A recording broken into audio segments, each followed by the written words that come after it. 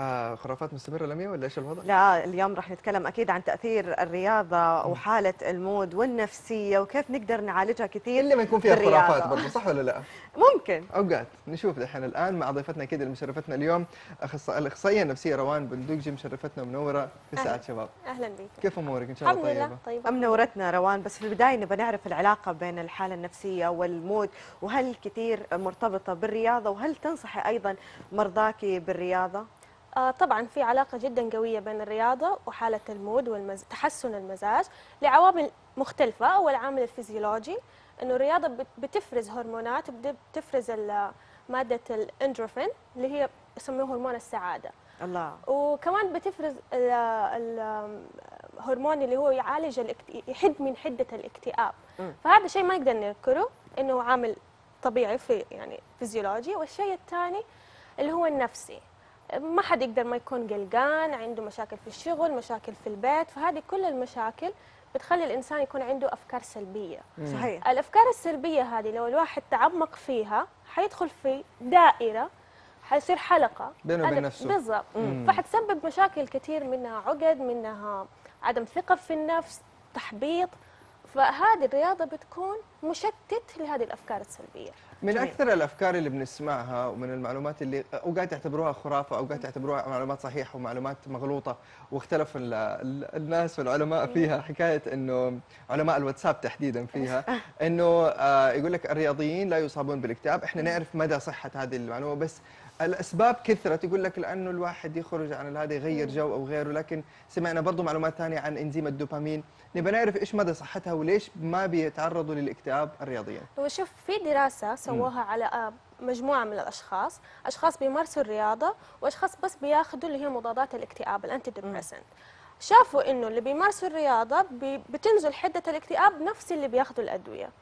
لكن المثير والحلو في هذه الدراسة إنه بعد ما شافوا آه المرضى واللي هدول يعني تابعوهم حالاتهم الانتكاسة للناس اللي كانوا بيمارسوا الرياضة سواء مع الأدوية أو لوحدها كانت جدا قليلة بالنسبة للناس اللي كانوا معتمدين بس على الأدوية. مم. طب روان بالنسبة لك يعني بيجوك كثير من المرضى عندهم اكتئاب عندهم حالات نفسية ونصحتيهم بالرياضة. هل لقيتي الفيدباك اللي أنت كنت منتظرته من هذول الأشخاص ولا كانت في عوامل أخرى غير الرياضة ممكن تساعد في إبعاد الاكتئاب وتحسن الحالة النفسية؟ طبعا هي تحسن الحالة النفسية عوامل كثيرة. يعني نحن بنتكلم على الويل بينج عموما إني أنا أكون راضي أو سعيد. فجزء منها الرياضة نعم أو الحركة أو تغيير الروتين اليومي اللي هو بيسبب لي الاكتئاب بيسبب لي أنا أدخل في هذه الحلقة من الأفكار وإني أنا ما بعمل حاجة. الرياضة ممكن كمان تعطي للأشخاص اللي يكون عندهم اكتئاب أهداف بسيطة أوصل لها آه وما نقدر كمان لما أجي أقول لأحد مارس الرياضة يشوفها شيء كبير إنه أنا حدخل نادي أنا آم، مثلا في سيدات يعني الأعذار إنه لا حروح ما عندي سواق. فممكن الحركة اني أنا ادخل روتين الحركة في يومي. مو شرط إني أنا أروح نادي ولا أمارس رياضة معينة. صحيح. عشان نكون أكثر تفصيلا هل هي الحركة ولا تغيير المكان ولا على حسب تفكير كل واحد نفسيتي حتتغير؟ لأنه يفرق. إذا كان الحركة يعني أنا أي مجهود ممكن يغير نفسيتي ويفرز إنزيمات ويخليني سعيد. أو تغيير المكان أو أو على حسب كل واحد كيف هي مقتنع كلها مع بعض. كلها مع بعض. هي كلها مع هي عوامل عدة. يعني أنا ما أقدر أقول واحد مكتئب clinically depressed وأقول له سوي رياضه حتتعافى فهي عوامل عديدة. طب روان. يعني الجانب الاجتماعي جدا مهم وضروري خصوصا للبنات أكثر من الشباب، الشباب ما عليهم يروحوا النوادي لحالهم وما يصير فيهم شيء مستعدين يروحوا كل يوم،. ولكن إحنا. السيدات عندنا يعني مشكلة في هذا الموضوع، لازم يكون في جمعات وطلعات ونروح مع بعض وترابط أصحاب أو زوجين أثناء ممارسة الرياضة، هل هو عامل أساسي نقدر نقول عند الشباب والشابات ولا ممكن يكون عامل ثانوي؟ هو هو الصراحة عامل أساسي بس مو شرط دائما يكون إيجابي. يعني في كثير أزواج بيجوا مثلا عندنا في قسم الإرشاد النفسي بس يكون عندها هي بتشتكي إنه زوجها بيقضي ثلاثة أربع ساعات في النادي. وهي بتكون بعيدة عنه أو هي مثلا أو هو بيشتكي إنه هي طول الوقت في بتمارس أنواع الرياضة ولا كذا فحلو إنه يمارسوا رياضة مع بعض يخت... يعني على حسب ميولهم. وعلى حسب شخصية يعني في ناس يحبوا الرياضة اللي تكون فيها جانب اجتماعي رياضة يعني كورة أو إني أنا أروح جيم وفي ناس شخصيتهم ما هي اجتماعية. فما أقدر أجبرهم إنه والله لازم تطلع تروح نادي أو تروح لعبة جماعية ممكن أنا أمارس الرياضة أو الحركة. في بيتي بين أطفالي يعني على حسب الشخصية. حلو. طب زي ما يقولوا أوقات ال ال- ال- المشكلة ال- أو ال- ال- المشكلة في نفس الحل اللي إحنا نبغاه، إحنا قاعدين نقول إنه الرياضة هي الحل.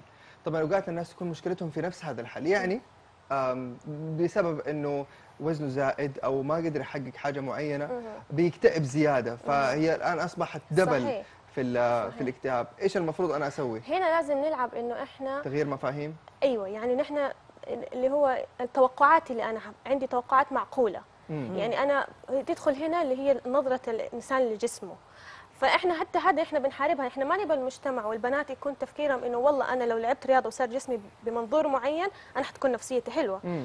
ممكن العكس كمان طيب ممكن تسبب نتيجة عس- عكسية لأني أنا حاطة توقعاتي ومشاكلي كلها حتنحل إذا أنا لعبت رياضة وصلت للوزن المثالي أيوه اذا ال high آه، يعني expectation بيخلي الواحد آه، يعني لازم إحنا we. manage our expectation أيوة. وتكون أهداف معقولة وأنا أشياء أقدر أقيس نجاحها في حياتي يعني ما أحط لي هدف إني أنا أنزل وزن غير معقول في فترة قصيرة أو جسم المثالي في فترة عادي قصيرة. تشوفي صحيح، 30 يوم صحيح، يوم أكيد. 29 رمضان أو 30 رمضان بالظبط هتلاقي آه، كيف أنحى في يوم واحد؟ إيه،. أكيد طبعا طب روان يعني نقدر نخرج من الموضوع هذا كله أنه السعادة اليومية ممكن نحن نلاقيها في الرياضة صحيح؟ السعادة طريق.